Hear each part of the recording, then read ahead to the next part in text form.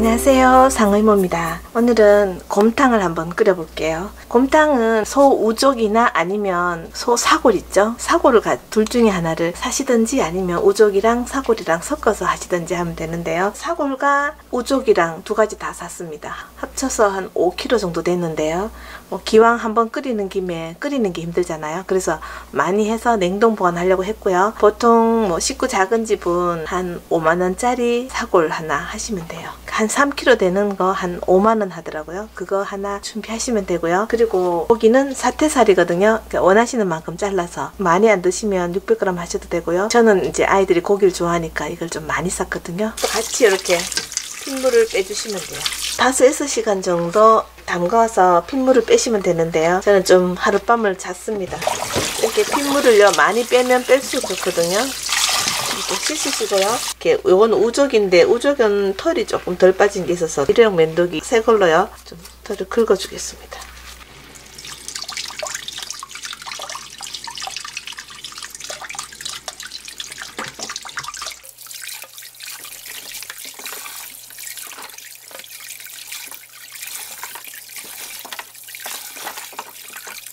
깨끗하게 헹궈서 이렇게 물을 넣고 끓이시면 돼요. 그냥 맹물만 넣고 끓이시면 되는데요.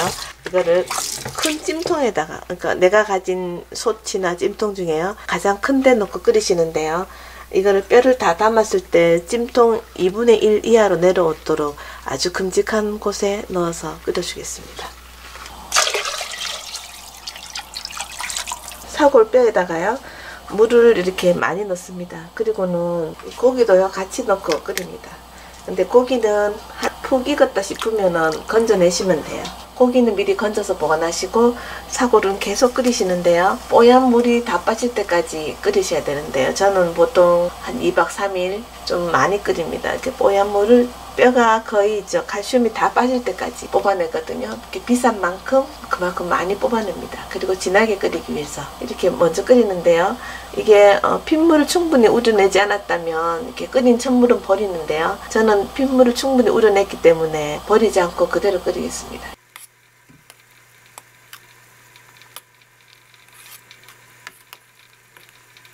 단백질 같은 거 이런 게 피 같은 게 응고돼서 이렇게 걷어내 주시고요. 웬만하면 강불로 빨리 끓이시는 게 좋아요. 이게 고화력으로 끓이시면 빨리 우러나거든요. 저는 또 출근을 하기 때문에 아침에 끓이다가 불을 꺼놓고 갔다 와서 다시 끓이기도 합니다. 불을 꺼놓고 그대로 놔두고 가셔야 됩니다. 혹시 뭐 불 껐는데 국자로 한 국자 떠드시다가 막 그렇게 덮어놓고 가시면 여름에는 상할 수 있습니다. 겨울에는 괜찮은데 끓여서 불을 딱 꺼놓고 뚜껑을 그대로 덮어 놓으셔야지 멸근 상태로. 이게 제가 저녁에 퇴근해서 올 때까지 괜찮거든요. 곰탕에서 걷어낸 기름과 또 위에 거품이었거든요. 근데 이 기름이 추운 겨울에는 바깥에 놔두면 굳어서 하얗게 굳어서 걷어내기 좋고요. 굳어서 걷어내도 어차피 쓰레기 봉지에 담아서 내면은요. 이게 온도에 따라서 녹아서 흘러내릴 수도 있고요. 버리실 때 그냥 싱크대 버리시면 안 되거든요. 싱, 싱크대 안에서요. 하얗게 굳어서 이게 물이 막혀요. 그래서 그런 일이 있기 때문에 싱크대 그냥 버리시면 절대 안 되고요. 이런 비닐봉지에다가 신문지나 이런 키친타월을 넉넉히 넣고 여기 안에다가 이런 식으로 부어서 제가 한 요만큼 남겨 놓을게요. 묶어서 버리시면 돼요. 아, 이렇게 버리시는 게 제일 좋고요. 이러면은 신문지와 키친타월이 기름을 흡수해서 기름이 줄줄 흘러나오는 걸 좀 방지할 수 있거든요. 만약에 부득이하게 싱크대에 이렇게 버리게 될 일이 생기면요 근데 가능하면 이렇게 버리시는 게 가장 환경을 생각해서는 가장 좋다고 합니다. 근데 만약에 이렇게 굳이 또 싱크대 버리실 일이 생기시면은요 를 넣고 세제를 한 해서 이렇게 흔들어주면 이게 풀어지거든요. 기름이 녹아내립니다. 기름을 녹인 다음에 이렇게 부으셔야지 아무 문제가 없습니다. 안 그러면 문제가 생기거든요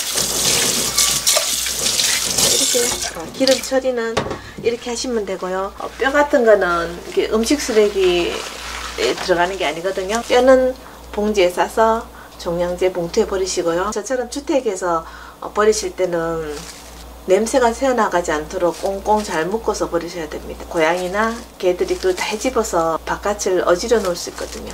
강불로 1시간 30분 정도 끓였거든요. 근데 지금도 있죠. 이게 아마 떠서 소금 타서 드시면 맛있고 진한 고기 국물 맛이 날 겁니다. 혹시 반찬이 없으시면 이거 한 그릇 떠서 밥 말아 드셔도 돼요. 고기를 좀 건져내려고 하는데요. 좀 삶기 좋게 좀 잘게 잘라 달라고 해서 제가 좀 잘게 잘랐거든요. 이렇게 그러니까 고기에 씹는 식감을 좋아하시면 지금 꺼내시면 돼요. 식혀서 얇게 슬라이스 하면 되거든요. 곰탕은 사실은 고기가 푹 물러서 쭉쭉 찢어서 넣으면 맛있잖아요. 그렇게 하시려면 한 2시간 정도 이상 끓이시면 돼요. 전 두 가지 다 보여드릴게요. 지금 건져서 식혀 놓는 것과 조금 식감을 살리기 위한 고기는 지금 어, 건져 놓겠습니다.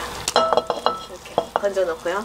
나머지는 또 푹 무르게 삶아 보겠습니다. 국물이 많이 진해졌죠. 아까 제가 먼저 고기를 미리 식감 좋아라고 미리 꺼낸 거 있었고요. 이번에는 이렇게 한 부드러운 고기 좋아하시는 분들은 이렇게 좀 한 3시간 정도 푹 끓인 다음에요. 이렇게 건져내시면 돼요. 고기 식감도 좋지만 이렇게 부드럽게 끓인 것도 좋거든요. 냄비에 물이 줄면은요, 이거를 따로 건져내고 할 필요 없이 이렇게 물을 더 추가하시면 돼요. 이렇게. 자, 물을 또 계속 추가하겠습니다.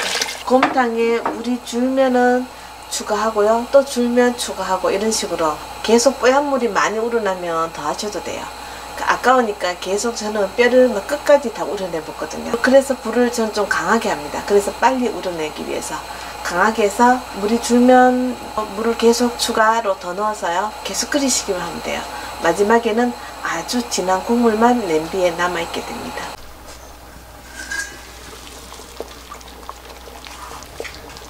자 이렇게 줄어든 물은 또 이렇게 보충해 주면서 곰탕의 첫 국물은 조금 누렇게 나오거든요.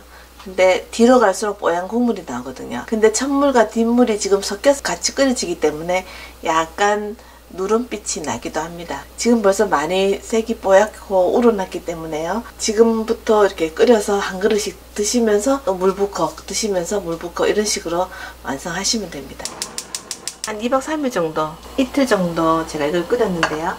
어, 이렇게 끓이시면서 기름은 자꾸 이렇게 많이 뜨거든요. 그러면 기름은 국자로요. 조금 조금씩 자꾸 걷어줬더니 이렇게 기름이 많이 모였습니다. 그리고 나중에 이거 냉장고 넣어두거나 아니면 바깥에 놔둬서 차갑게 나가, 놔두면 기름이 하얗게 엉키거든요. 그때 건져내셔도 돼요. 저는 이렇게 어, 끓일 때마다 조금씩 조금씩 걷어냈습니다. 위에 떠 있는 거 있죠? 이런 거는 하얀 거 이런 거는 기름이거든요. 이거는 걷어내겠습니다. 밥그릇에 담았을 때 그릇 밑바닥이 비치지 않을 정도로 아주 진하게 끓였고요. 이 정도 끓이면 저는 될 것 같아서 이제 불을 끄겠습니다. 그리고 마지막에 이제 한 번 더 다 국물 부어놓고 마지막으로 한 번만 더 끓여서요. 그 마지막 국물도 우거지고 끓여 드시거나 하시면 돼요. 국물 따로 뼈 따로 정리하겠습니다. 소 우족이나 또 뼈에서 나온 이런 이런 거거든요. 이렇게 껍질이나 속에 뼈 속에 있던 고기 이런 거 물렁물렁한 거 있죠. 근육 같은 거 물렁하게 끓여진 거거든요. 이것도 같이 몸에 좋으니까 곰탕에 데워서 드시면 돼요. 근데 저는 요거는 따로 모아서요. 우거지 국을 끓입니다. 애들은 이게 들어가면 안 먹으려고 하더라고요. 사골 국을 끓여 드시면 됩니다. 총 2박 3, 3일에 곰탕이 이제 다 됐습니다. 회와 함께 분리된 뭉글뭉글한 겁니다. 이것도 다 같이 드시면 몸에 좋은 거니까 데워서 먹고요. 그리고 곰탕을 다 끓여 드시고 난 다음에 이런 거 좀 남거나 좀 지겨우면 이 국물에다가 이제 우거지를 넣고 우거지 국 끓여 드시면 되거든요. 요거는 끓여서 먹도록 하겠습니다. 푹 끓여낸 사태 아주 물렁한 상태의 사태입니다. 이건 그냥 툭툭 뜯으면 다 이렇게 떨어져요. 고기를 무르게 드셔야 되는 분은 이걸 드시고요. 고기에 씹는 식감 좋아하시면 이렇게 1시간 반, 2시간 정도 삶은 것 아니면 손님 오시건 할 때도 이런 고기가 좋습니다. 결 반대 방향으로 썰어주시면 돼요. 얇게. 자, 이런 식으로 얇게 준비해 줍니다. 물렁하게 삶은 고기는 그냥 손으로 이렇게 뚝뚝 찢어주시면 됩니다. 어르신들이나 아기들은 이렇게 물른 걸 먹기 좋거든요. 기름처럼 보이지만 이거는 기름 아니고 이렇게 약간 근육 같은 거거든요. 곰탕이 진하고 맛있게 끓여졌는지 알 수 있으려면요. 이렇게 냉장고에 넣어놨을 때 이렇게 응고가 되면 굉장히 진하고 맛있는 곰탕이거든요. 굉장히 우유처럼 뽀얗지는 않습니다. 약간 누런빛이 나거든요. 자 이렇게 푹 끓여두면 이렇게 됩니다. 그래서 냉동 보관할 때 이렇게 고기랑 미리 이런 식으로요. 다 넣어서 냉동 보관하시면 됩니다.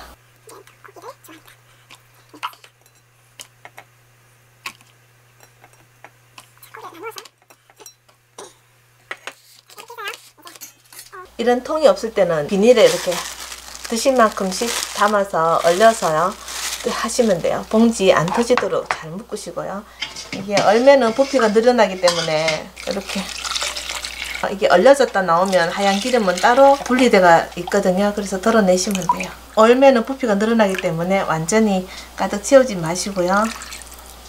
한 8, 9부 정도만 채워주시면 됩니다.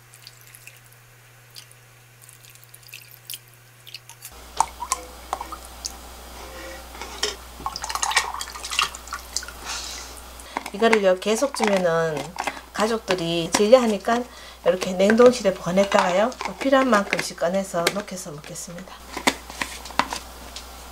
아, 일부 집에서 이제 드실 거는 이렇게 냄비에다가 담아 두시면 되고요. 밥에 이런 식으로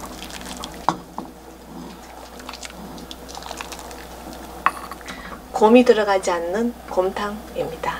한우 뼈로 만든 곰탕은 자체가 잡내도 없고 구수하기 때문에요. 소금만 넣으셔도 맛있습니다. 곰탕이 다 됐습니다. 상의모였습니다. 감사합니다.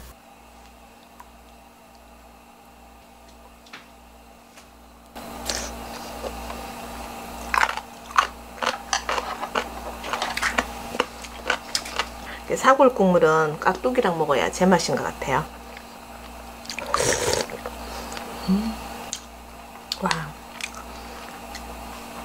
진짜 진하고 구수한 곰탕입니다.